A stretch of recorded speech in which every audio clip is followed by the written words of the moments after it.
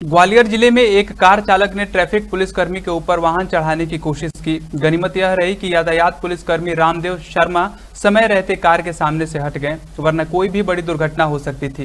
दरअसल यह मामला पड़ाव थाना क्षेत्र के बस स्टैंड तिराहे का है, जहाँ झांसी रोड पर स्थित यातायात थाने में पदस्थ रामदेव शर्मा अपने सहायक उप निरीक्षक शिव कुमार जोशी के साथ बस स्टैंड तिराहे पर वाहनों की चेकिंग कर रहे थे। चेकिंग के दौरान एक सफ़ेद रंग की ब्रेजा कार में काली फ़िल्म चढ़ी होने के बाद उसे रोका गया। इस बाबत कार सवार युवक आरक्षक रामदेव शर्मा से उलझ गया।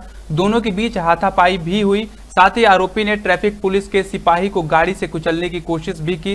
बहरहाल, पुलिस ने मौके से फरार हुए। युवक को देर रात गिरफ़्तार कर लिया है। देखिए, उस घटना पे पुलिस ने संज्ञान लिया है। और सख्त कार्रवाई आरोपी अगेंस्ट में की गई है। चेकिंग के दौरान उसने बहुत ही लापरवाहीपूर्ण तरीके से गाड़ी को चलाया और वो ट्रैफ़िक का जो आर है मौके पर था, उसको टेस्ट किया गया।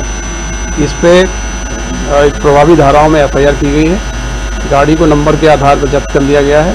गाड़ी का जो उस उस समय ड्राइवर था, उसकी तलाश कर रहे हैं हम लोग। उसका जो भाई है, उसे पूछताछ की जा रही है। इस प्रकार की घटनाएँ जो चेकिंग के दौरान इस प्रकार का दुर्व्यवहार करते हैं और इस प्रकार की व्यवधान पैदा करते हैं उनके खिलाफ पुलिस सख्त कार्रवाई करेगी।